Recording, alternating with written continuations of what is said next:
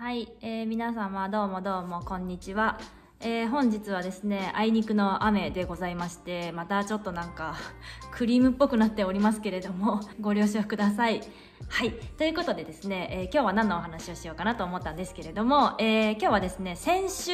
院長ですね、私が前働いていたところのクリニックの院長、も今院長引退してるんですけれども、一緒にあの、オファーいただいた歯医者さんのところに行ってですね、撮影をしてきました。で、私は別に撮影に携わってはいないんですけれども、まあ、どんなことやってるのかなとか、コラボってどんな感じなのかなとか、あとは単純にその先生に会いに行ってみたいなっていうのがあったので、一緒についていきました。で、朝ですね、新幹線に乗って、えー大阪まで行ってきたんですね。大阪って言ったら、もしかしたらもう皆さんわかるかもしれませんけれども、えー動画が上がるのがですね、もうちょっと時間がかかると思いますので、楽しみにしていただければいいと思うんですけど、撮影のね、状況、うん、あんまりお見せできませんけど、なんか、こんな感じで、それぞれですね、先生と、その後ろにはですね、そのクリニックの事務の方と、あとはそれぞれですね、あの動画の制作を手手掛けるスタッフがですね、両方が、みんなスマホでですね、携帯電話 iPhone で、え動画を撮ってたんですけど、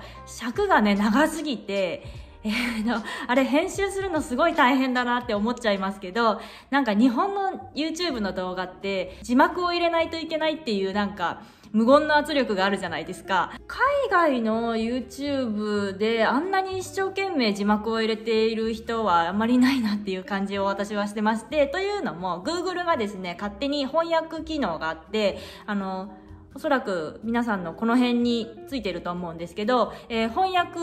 とあとは字幕ですね、勝手につけてくれるんですよ。まあ多少あの発音によって、え間違っていることもありますけれども、えー昔よりはですね、かなり精度が高くなっております。私が YouTube を始めた、えーのが今年の、まあ、4月5月ぐらいですかね。その時から比べたらかなり改善されていて、えー結構いい字幕になってるんですよね。でそれを、えー日本の YouTuber の方はねあんまり使わないんでしょうね、えーもったいないなっていうふうに思っちゃいますけど。それそれでですね、えーその Google の字幕を使っちゃえば自動翻訳で、えー全世界に発信できちゃうんですよね。日本の人々に何かを伝えようと思って YouTube を上げてるんだと思うんですけどなんかすごいもったいないなって思っちゃっている私がいます。なので、えー私の動画はですねこんな感じでめちゃくちゃシンプルっていうかただ動画を切って、えー音声を入れてちょっと編集してっていう感じであんまり面白くはしてないんですけれどもまあそういう理由です。なかなか YouTube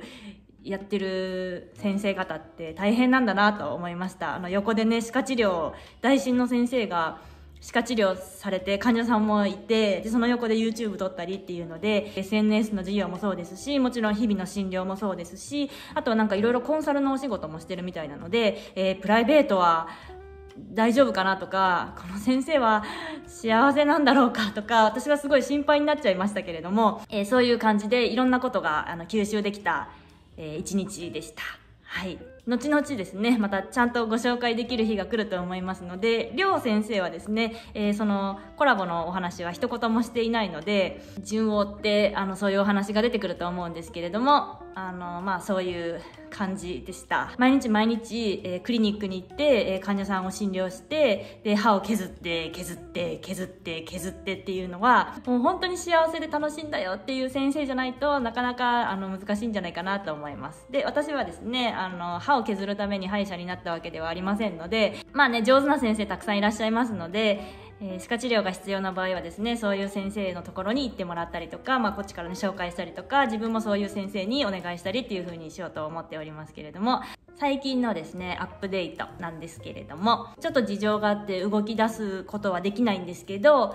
えーホワイトニングのねサロンをサロンというか、まあ、クリニックを立ち上げようと思ってます。でそれについてちょっとお話をしようと思うんですけれども、えーホワイトニングですね。私はホワイトニングがやりたいというかそのホワイトニングの材料ですね。このポリリン酸のあの素晴らしさを、まあ、全世界に広めたいっていう思いが、まあ、先生院長と一緒にあってで開発者は日本人なんですよね。柴先生っていう方なんですけれどももともとですね、え大阪大学を卒業された後に、えー北海道大学かな？でずっと研究をされていてで、えー、スタンフォード大学に研究留学されるんですよね、え、そこで柴先生は、えー、アンサー・コーンバーグというあの知る人ぞ知るっていう感じなんですけれども、えー、1959年にですねノーベル生理学医学賞を受賞したアーサー・コーンバーグ先生と一緒に、えー、ポリリン酸の研究を始めたわけですね。でこれは歯科にすごくあの臨床応用できるということで商品開発を先生は手がけているんですけど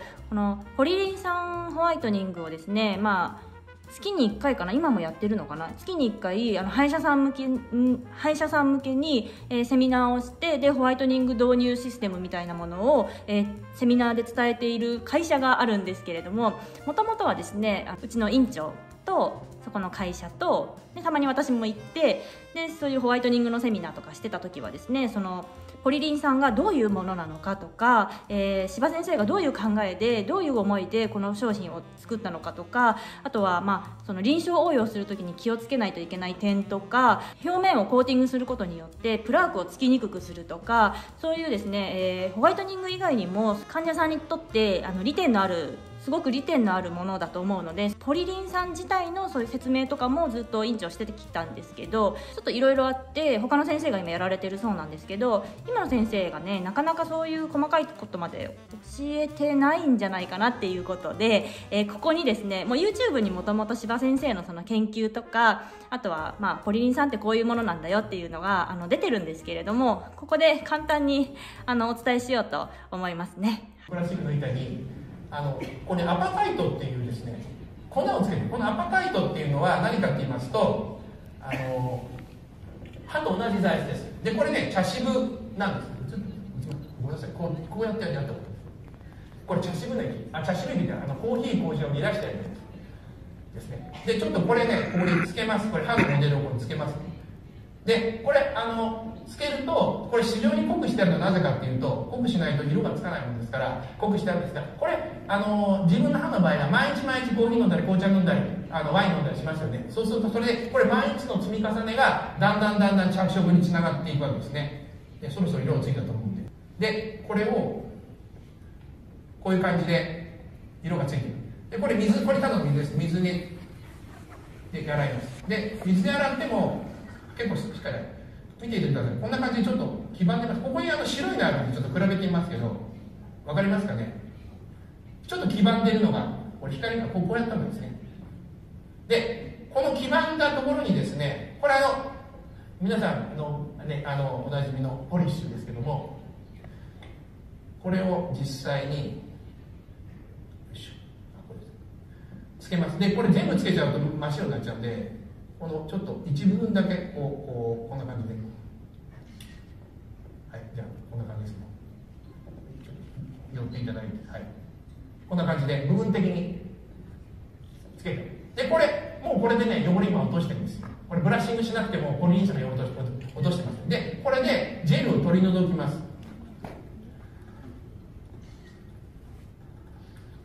でこれジェルはね結構ね、ね、粘度が高いんですけどなんで粘度が高いかっていうとあのシューポケットの中でこうとどまるようにしてあるね。とどまるっていうことはシューポケットの中でやっぱりポリン酸があの汚れを落としてくるんだからでジェルちょっと、ね、粘着性が高いんでまだジェルまだ少し残ってますけどじゃあ途中経過を。こんな感じで。寄ってくださいこれポリシュがついた時もろだけ白くなってるんですよね。まだちょっと真ん中に残ってるのはこれジェルが残ってるんででちょっと徹底的に落としますね。でもう大体落ちてます。大体落ちました。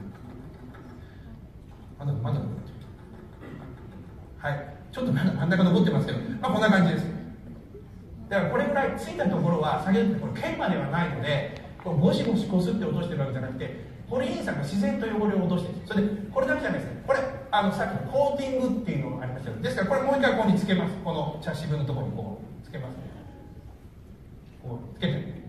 れつけると先ほどもちょっとつけただけで色がついちゃったの皆さん見ていただいたと思うんですけどこれでもうえ、っとですこれでもう一回もう一回水で洗います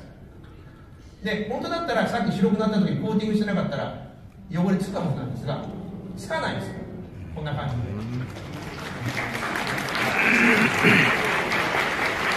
今日は。間持続あのねフッ素とはまた違うんですコーティングフッ素っていうのは歯にくっついてフルオラーパタイトって歯の歯の表面を変えちゃうんで他の物質にだから硬くなって酸に抵抗性ができて虫歯の予防になるんです。でフッ素っていうのはあんまりくっつきすぎると歯が硬くなっちゃってもろくなるっていうそういう欠点もあるんですがで特に大人の時のフッ素とあんまり関係ない。です小児のあ子供の場合はね結構あの虫歯になりやすかったりするんで甘いもん食べたり。あの歯が柔らかいんでフッ素いいんですけどこれポリリン酸はあんなぴったりあの物質を変えちゃうわけじゃなくて本当に歯の表面をコーティングしてそして汚れをつきづらくするだけですからこれ毎日やっていただくと34時間コーティングが持つのでですからこれあの歯磨きしていただいて前に飲んでも色がつかないまあそういう形になるんですね。はい、はい、こんな感じ。これマジックじゃない。これ本物なんではい。すみません。っていう形で。だから実際これ今監査ポリリンさんの、えーと、デモンストレーションをさせていただいたんですがっていう感じで、えー、柴先生のちょっとなんかどこからわかんないんですけどい、えー、検索すると YouTube でもこういう風に出てきてで、えー、柴先生のですね会社が一応こういう論文がありますよっていうので論文を一連で出しているので動画の概要欄の下のところに貼っておくので、えー、もし興味がある先生方は読んでいただければいいかなとは思うんですけれどもあのこんなにですね世の中に、えー、貢献できるようなものがあるのに、えー、なんでみんな使わないんだろうとか すごい思っちゃうので。えー、最近はですねかなりポリリン酸のホワイトニングをしているクリニックも増えていますけどコラボ動画でもですねそのクリニックももちろんポリリン酸のホワイトニングをされているので、えー、衛生士の人にですねそのポリリン酸のホワイトニングの仕方をちょっと実践でやってもらってそれを見学させてもらったんですけれどもうーんやり方が全然違うっていうことで あのそれだったらね白くならないはずだよなっていうふうに思っちゃいますけれども院長はですね、えー、もともと臨床応用っていうかまあ柴先生は歯医者さんではないのでそういう臨床に応用するっていうことをするにあたって、まあ、さ院長が必要だったっていうことだったと思うんですけど、えー、先生がですね開発というかその臨床応用するために、えー、こういうふうにした方がいいよっていうふうに考えたその方法がですね、えー、今ちょっとなんかひんまかってるような感じがありまして、ホワイトニングがですね、全然うまくいっていないような気がしておりましたので、えー、今後ですね、そういったあの本当にホワイトニング歯を白くするだけではなくて、その透明感があったりとか、しかも虫歯になりにくいとか歯周病も、えー、防げる、まあ、完全に防げるわけではないですけれどももちろんあの一番大事なのはあの汚れを除去するってことがすごく大事なのでこの、えー、歯磨き粉だけを使っていれば一生歯周病が防げるかって言ったらもちろんそれはえ、私はもうちょっとケアが必要だとは思うんですけれども、え、少なくともですね、この商品が、え、世界のですね、いろんなまあ、少なくとも日本にたくさんいる歯周病患者を、まあ、救えるんじゃないかなっていうふうに私は思ってましてホワイトニングっていう一言で区切えくくっていただいて商材として使おうとしている歯医者さんにはちょっとあの物申したいというかあのもっともっと違う可能性があるんだよっていうのをちょっとお話ししたくて今日はこんな動画にしてみました。で実際ですね、えー、そういう臨床応用しているクリニックさん拝見させていただいてやり方がやっぱりねちょっと違ったので、えー、これからはですねもうちょっとあの歯科医師向けにあの正しいポリリン酸ホワイトニングの方法をもうちょっと伝えていかないといけないよねって佐藤先生とも話していたので、え今後はですねそういうセミナーもちょっとやっていかないといけないなというふうには思ってますけれども、えー、もっともっと白くなってもっともっと綺麗になってもっともっと、えー、歯周病とか虫歯が防げると思いますので歯を日本人のとりあえず少なくとも歯をですね良くしていきたいっていう思いがあるので、えー、それに向かってですね頑張っていけたらなとは思っております。何かですねポリリンさんについてというか今後まあホワイトニングのモニターも募集しようかなと思っておりましてもしですねそういうモニターになってみたいとか、えー、一回そういうことをやってみたいっていう方がいたら、えー、YouTube ではですねコメント欄とかしかコメント欄しかないので、えー、個人的なこういう DM とかやり取りがなかなかできないんですけれども、えー、私インスタグラムを一応作っておりますのでそちらにあの DM を送っていただければまあ、今後ですね、えー、ホワイトニングのモニターというかいろんなところでホワイトニングをやっても痛くて痛くてしょうがなかったっていう方はポリリンさん絶対おすすめですので一度あの連絡いただければなと思います。で私のですねインスタグラムはですね